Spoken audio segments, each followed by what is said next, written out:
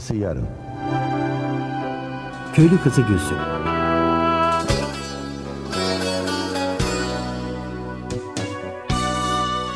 Üçüncü Bölüm.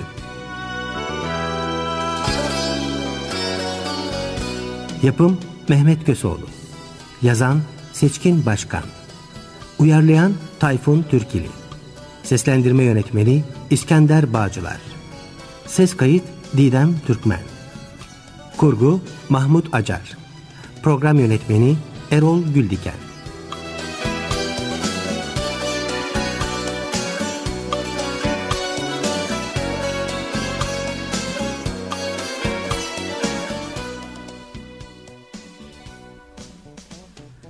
Çok zengin bir ailenin kızı olan Ebru, doğuştan felçli olduğu için tekerlekli sandalyede yaşamaktadır.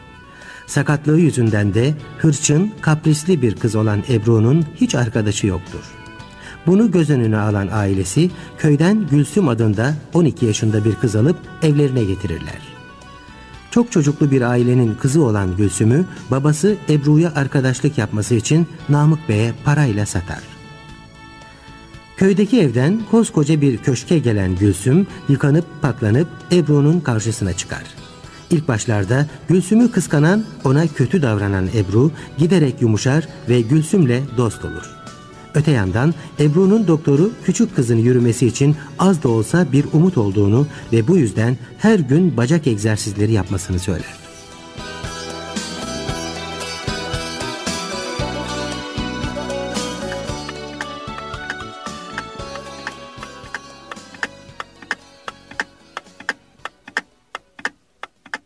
Ebru kızım bugün doktor Betin amcana gittim. Neden? Sana çok selam var. Yeni ilaçlar yazdı senin için. Hayır artık o ilaçları içmeyeceğim baba çünkü hiçbir faydası olmuyor. Neden böyle söylüyorsun yavrum? Nereden biliyorsun faydası olmadığını? Faydası olsaydı şimdi tekerlekli sandalyede olmazdım anne. Hani nerede? Küçüklüğümden beri içiyorum. Ne faydası oldu? Kızım o ilaçlar yürümen için değil ki. Bacak kaslarını güçlendirmek için. Bacak kaslarım güçlense ne olacak baba? Önemli olan benim yürümem. Bacaklarının iyileşmesi mümkünmüş. Bu senin elinde. Aa Namık amca. Evet Gülsüm. Doktor söyledi kızım. Ebru'nun günde en az iki saat egzersiz yapması, bacaklarını hareket ettirmesi gerekiyor. İnanma Gülsüm. Bunun ne faydası olacak ki? Benim bacaklarım sakat. Hiçbir zaman hareket etmez. Neden böyle düşünüyorsun yavrum? Hatırlasana. İlkokula başladığın sene düzenli idman yapıyordun. Ne kadar fark etmişti? Hayır fark eden hiçbir şey olmamıştı anne. O zaman da tekerlekli sandalyedeydim. Lütfen kendinizi kandırmayın. Ben hiçbir zaman yürüyemeyeceğim. Biz kimseyi kandırmıyoruz kızım. Doktorun söylediğini söylüyoruz. Yeter ki sen iste. Bu senin istemenle olacak bir şeymiş. İstemek mi? Evet tabii ben istiyorum. Koşmak istiyorum, ip atlamak istiyorum, yürümek istiyorum. Ee, hani oluyor mu? Namık Bey amca. Bu idman dediğin hani ilkokulda jimnastikte yaptığımız hareketler gibi mi? Hayır Gülsüm öyle değil. Bunun belirgin hareketleri var. Onları yapması lazım. Ama her şeyden önce buna kendisinin inanması ve inanarak yapması gerekiyor. Neden istemiyorsun Ebru? Sen karışma Gülsüm. Ama bu senin hayatın. Yürümek için her şeyi denemelisin. Bizim bir hacı annene vardı. Sıcak şeyler içmekten nefret ederdi. Bir keresinde oğluna çok sinirlendi. Boğazından horoz gibi sesler çıkartmaya başladı. horoz gibi mi? Nasıl yani bildiğimiz horoz gibi mi? Evet. gibi işte. Görsen kadıncağız ötüyordu zannedersin. Köyün ebesi sıcak ıhlamur sıcak nane suyu içmesi gerektiğini söyledi. Kadın nefret ettiği halde bir ay boyunca günde belki 30 bardak sıcak içti. Sonra düzeldi. Demek aynı horoz gibi. ü, ü, ü, diye ha? Evet. Kadını görmesen horoz ötüyor zannederdin. Peki kadının horoz gibi ötmesiyle benim bacaklarımın ne ilgisi var ki? Yani istemesen de iyileşmek için bazı şeyleri yapmak zorundasın. Seninle beraber yaparız o jimnastik hareketlerini. Ben bir takla atmasını bilmem. Taklat mı? O da ne demek ya? Ya hani böyle ellerini böyle yere dayayıp hani dönüyorsun başladığın gibi kalkıyorsun. Takla denir ona kızım takla. Ay gülmekten öldürecek bu kız beni. Her neyse. İşte onu yapamıyorum bir tek. Akıllım benim idmanlarım öyle değil ki. O zaman nasılsa öyle yaparız. Sen niye yapacaksın ki? Senin bacakların normal, sakat olan benim. Olsun herhalde bir zararı dokunmaz bana. Kim bilir o hareketleri yaparken ne komik şeyler yaparsın sen. sen de bol bol gülersin işte. Ay tamam o zaman. Yarın sabah egzersize başlayalım. Ama beraber yapacağız. Söz beraber yapacağız. Sen bana neler yapılacağını öğreteceksin ama. tamam. Hadi gel odamıza gidip biraz kitap okuyalım. tamam olur. Bak gördün mü Namık? Yıllardır bizim yapamadığımızı şu köylü kızı yaptı. Bizim inatçı kıza nasıl kabul ettirdi egzersiz yaptırmayı? Bu Gülsüm bize Allah'ın bir lütfu Belgin.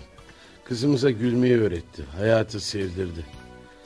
Allah da biliyor ya belki yürümesine bile sebep olacak. Ah nerede o günler Namık? Nerede? Ama kız biraz hasta galiba.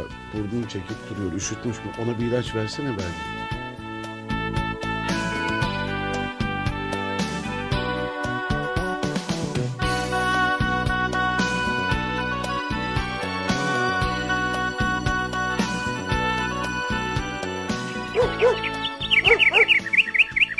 Oh, egzersiz yapmak için hava bir harika. Öyle. Ee, sen bakalım Ebru'cum nasıl yapılıyormuş bu egzersiz? Önce benim tekerlekli iskemleden çıkıp yere çimenlerin üzerine yatmam gerekiyor. Tamam yat sen de. Ay güldürme beni ya. Unuttun mu sakat olduğumu? Yani iskemleden tek başıma nasıl kalkarım unuttun mu? Ha doğru. Gel hadi ben sana yardım edeyim. Nasıl indireceksin beni iskemleden?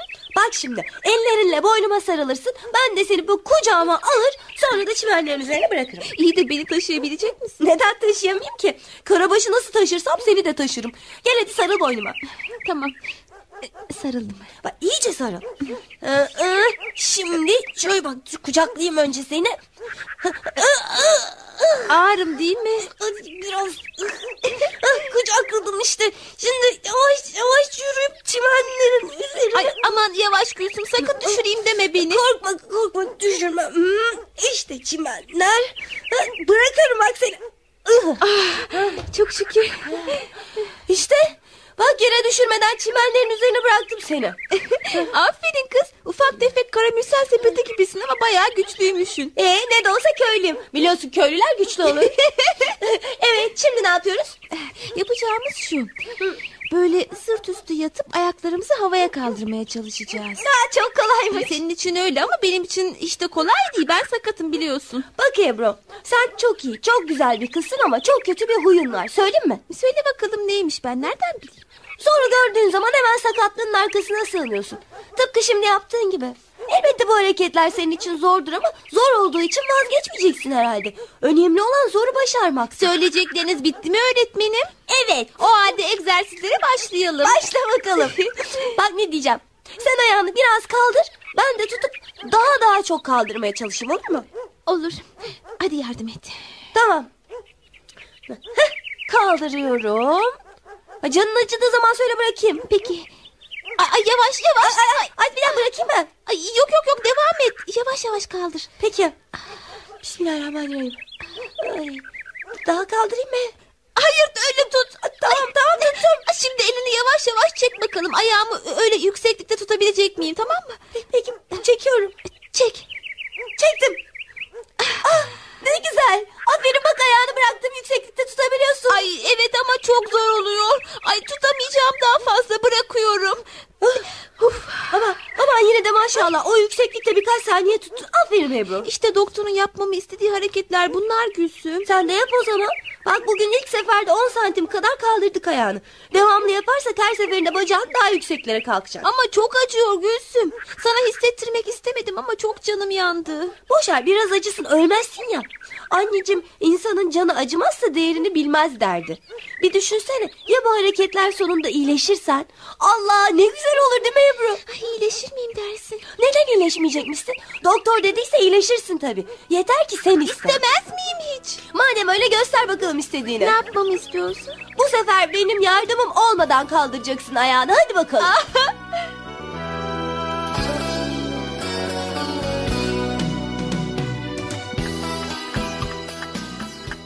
Belgin nasıl gidiyor? Ebru düzenli egzersiz yapıyor mu? Ay yapmaz olur mu Namık? Bir aydır her sabah Gülsüm'le birlikte yapıyorlar. Aferin Gülsüm'e be. 40 yıl geçse biz yaptıramazdık.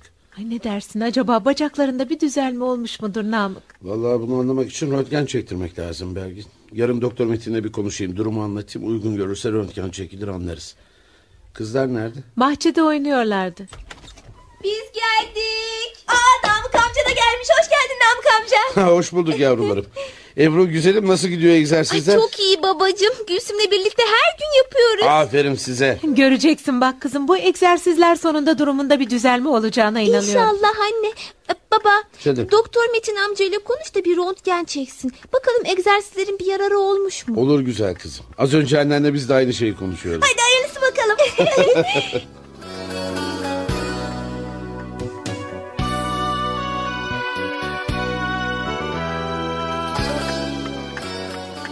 Babam gelmedi mi anne? Hayır ama birazdan gelir. Neden sordun kızım? E, Dün çektirdiğimiz röntgenleri gösterecekti doktor Metin Bey'e ya. Aa doğru unutmuştum. Göreceksin bak baban iyi haberler getirecek Ebru. İnşallah. Merhaba. Bak Namık amca geldi. Hoş geldin Namık. Hoş bulduk hanım. Ay baba, röntgen sonuçlarını aldın mı? Evet aldım kızım. Ne oldu Namık? Ne dedi doktor? Şey herhangi bir gelişme yokmuş. Yani şimdilik. Ama egzersizler devam ederse... Tamam baba. Bu iş burada bitiyor. Size bu egzersizlerin hiçbir işe yaramayacağını söylemiştim ama bana inanmamıştınız. Ama kızım... Ama hemen ümitsizliğe kapılma. Lütfen üstüme gelmeyin. Bundan sonra ne idman ne de başka bir şey. Belli işte ben artık hayatımın sonuna kadar tekerlekli sandalyeye mahkumum. Kendi kendinizi kandırıyorsunuz. Ama bundan sonra beni hayallerinize ortak edemeyeceksiniz artık. Böyle konuşma kızım yapma beni üzüyorsun. Ben gidiyorum. Ebru kızım dur. Ben onun peşinden gidiyorum. Dur Ebru ben de geliyorum.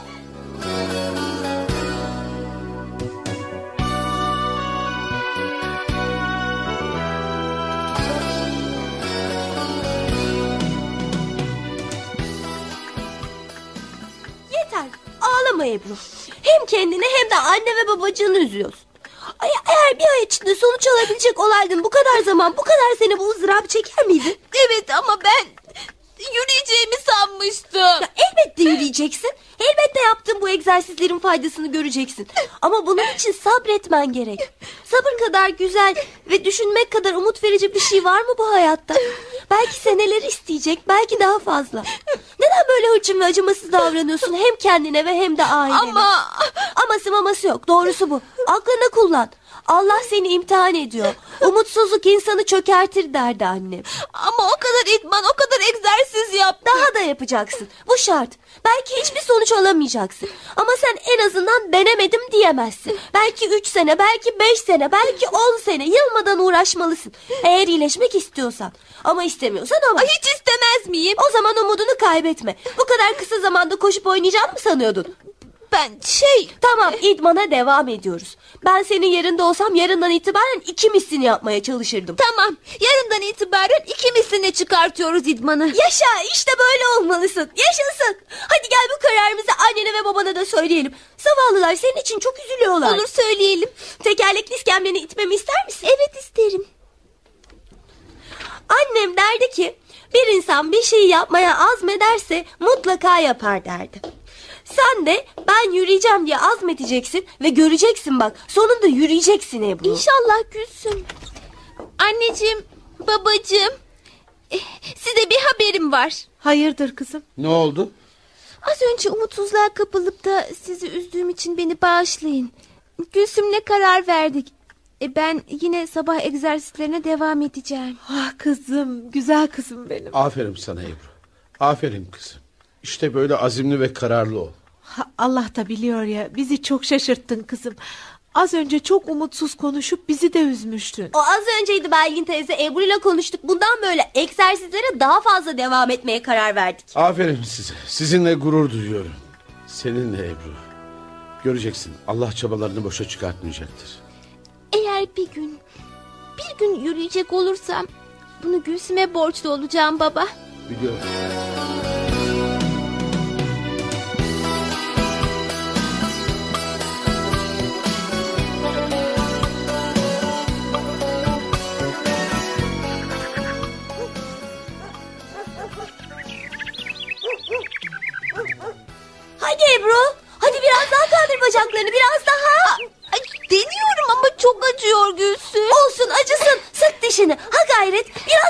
Daha kaldır. Tamam, tamam.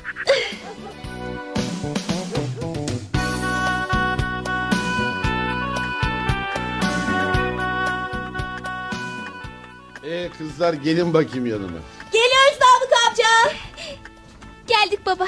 Babanız sizinle konuşacak. Biliyorsunuz yarın okullar açılıyor. Biliyoruz anne. Size bir müjdem var çocuklar. Bugün okula kaydınızı yaptırdım. İkiniz de aynı sınıfta okuyacaksınız. Yaşasın. Güzel Gülsüm'le aynı sınıfta olacağız. Her sabah sizi Hikmet dayı okula götürüp sınıfa girmenize yardım edecek. Ondan sonra iş sana kalıyor diyor. Tamam Namık amca hiç merak etme. Derslerimizi beraber yaparız Gülsüm. Tabii ben biraz geç öğrenirim ama ben ne yapalım kafam geç Ay alıyor. olsun. ben sana zorlandığın yerlerde yardım ederim. Şimdi aklıma geldi. Biliyor musun sen dünyanın en şanslı öğrencisisin Ebru. Aa bu da nereden çıktı şimdi? Bizim ilkokul öğretmenimiz bir kabahat yaptık mı bize kapı yanında ayakta durma cezası verirdi. Sana hiçbir zaman böyle bir ceza veremeyecekler. Ne dedin? Harika bir espri bu. Çok tuttu. Ay kız sen mezardaki ölüyü bile güldürürsün be. Hayır, bu kadar kıkırdama yeter. Hadi bakalım şimdi doğru yatağa. Yarın sabah erkenden kalkıp okula gideceksiniz. Hadi bakalım. Peki anneciğim. Hadi Gülsüm odalarımıza çıkalım. tamam.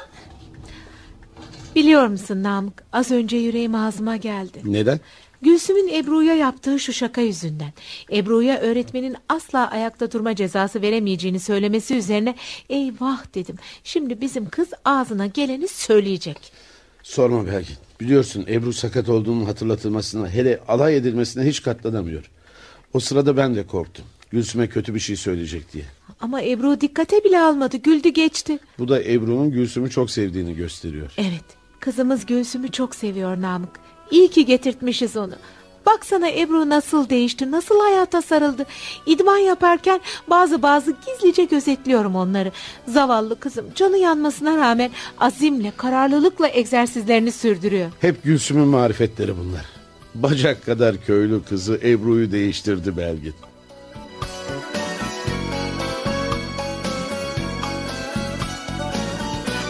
Köylü Kızı Gülsüm adlı oyunumuzun 3. bölümünü dinlediniz.